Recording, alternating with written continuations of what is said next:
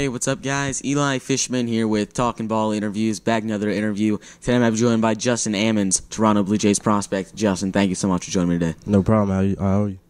Pretty good. Thank you so much for I got you. coming on today. Signed as an undrafted free agent from Yep. the University of Tennessee. Is there any coach or scouts in particular that helped you get that contract?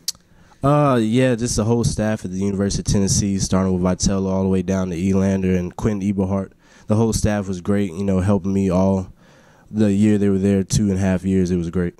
How special is that program? Obviously, the University of Tennessee, one of the biggest Division One sports programs. Yeah, the the tradition in that in that city is is unbelievable, and just the people that go in and work hard day in and day out, whether it's football, baseball, basketball, swimming, tennis, it's unbelievable. um, with the Toronto Blue Jays signing with them. How is it? Uh, how has it been so far working with the GCL guys, and has everything lived up to to expectations?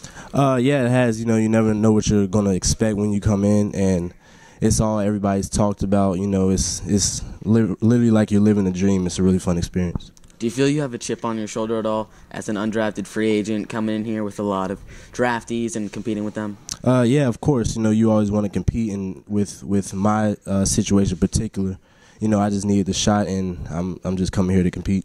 Who's someone in your career who's helped you out the most? Uh, my dad. You know, he's he's uh he's always been on my back. You know, been with me through the highs, through the lows, and just always stuck with me. What's your baseball and your hitting philosophy in particular every time you step out onto the field? Uh, compete, be aggressive, hunt your pitches, and stay focused. Tool wise, give me your best tool, your biggest strength, and one thing you've been working on. Uh, my best tool has always been my hitting, but this past year, you know, my speed has came. You know, I'm starting to be more of a base stealer now, so I'm playing a little bit of combination of both. But you know, I'm I'm working on my game, anything all the time. What's one big lesson that you've taken away and something you've picked up from the coaching staff here so far with the Blue Jays? Uh, hustle, hustle, compete, and you know, you always got eyes watching you.